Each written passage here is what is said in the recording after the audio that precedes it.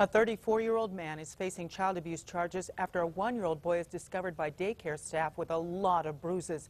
Jason Meany is charged with seven counts of child abuse. According to the criminal complaint, Meany told police he threw the baby in the air and the child fell, hit the side of the tub, and passed out. The child regained consciousness, but Meany did not call medical personnel. Instead, he dropped the baby off at Precious Moments Daycare, the same daycare where a child died in a hot car earlier this month. The staff there noticed the boy's injuries and called police.